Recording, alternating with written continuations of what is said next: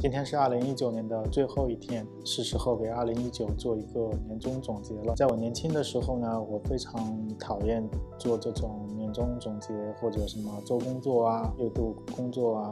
因为我觉得未来是有无限的可能，走了太多的弯路，现在需要精打细算的去过日子。当然，每个人有每个人的生活方式，我是一个需要设定计划才能让自己过得舒服的人。二零一九年，我唯一坚持下来的就是健身了，在这里我投入了大量的时间和精力。千万别来问我瘦了几斤，减体重那都不是事，循环增肌才是最难的。自己学着去做饭，这个也是为了让自己吃得更健康。也有利于健身。一月份的时候，对面的商场开了一家新的海底捞，在这一整年当中，我们去的趟数也不少。两月底，我们去了期间，这还是我第一次走期间，第一次就看到如此美丽的雪景，一路都是雾凇，甚至我们到了山顶，看到了雪山日出。作为南方人，还是无比激动的，所以这段依然让我记忆犹新。今年我们也在等雪，也会去爬一个附近的山。三月，我们的水乡办房，也就是迎新村的第一次。活动，我在迪卡侬买的新的充气艇，第一次尝试下水。大神陈文军也来教我的小伙伴来划船。我们又发现了附近的一片粉红色的花海，我相信明年它还在那里。四月看了一场没什么人气的上海车展，如果没有什么好吃的或者去见什么好玩的人，这种展会就不要叫我去了。我对汽车资讯也没有什么太多的兴趣。五月份去了陈文军的在富阳的水上基地，在这一次。我学会了在桨板上站立滑行，专业的教练就是不一样。第二天早上，我们还登上了附近的安顶山，看了老摩的自行车训练，这是他的第二趟登顶了。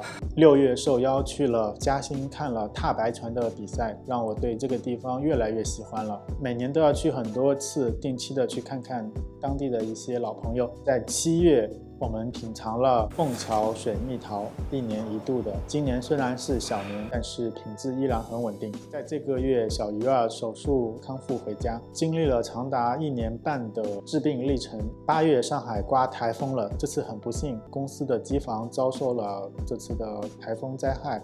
水从二楼沿着楼梯倒灌进了一楼的机房，导致一台核心的服务器进水了。那几天我非常的忙碌，心理压力非常大，因为全公司都指望你才能重新开始运作，包括重新开始生产。九月终于去了一次临安，亲自体验了一下打山核桃，这个真的是等了很多很多年，这次下定决心自己去一次。在整个过程当中，真的不是作秀，是完完全全的去亲身去体验了大半天，累并快乐着，也非常感谢。方杰他们一家让我们融入了他们大的家庭里面。晚饭的时候，一大家子在一起吃饭，其乐融融，这种感觉真好。你看，我从来平时是不喝酒的，然后唯独那天晚上这一杯田七药酒，我都喝了两三杯。十一月的事情就比较多了，在十一长假的时候，我们去了嵊州。发现了嵊州这个宝藏秘境，在东西村吃了定山湖清水大闸蟹，和梁老师学插花，还去了富阳的幺七九式水上俱乐部，亲自体验了富阳国际帆船比赛。那天玩得非常开心，又认识了不少大神。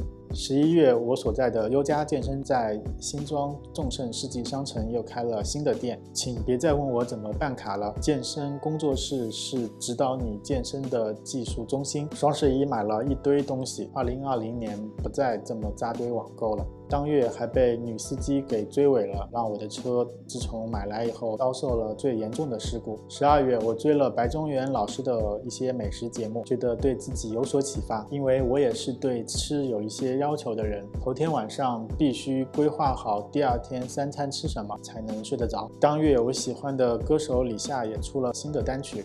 这个夏天雨季一定会来临。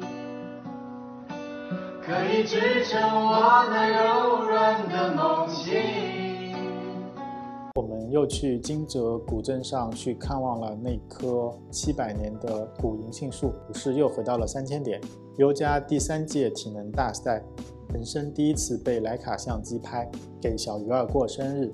我所在的威尔士健身会所要关店了。录完二零一九年最后的这期视频，对二零二零年的展望会更加努力、认真的去生活，简单化、精致化，会继续雕塑我的身材，并且深度的学习一些知识，挖掘更多的健康美食，那种接地气的、有烟火气的民间美食和宝藏小店，以美食为名义的旅行。以上就是我一整年的心愿，同时也祝你新年快乐，给您拜个早年，恭喜鼠年发大财，顺利平安一整年。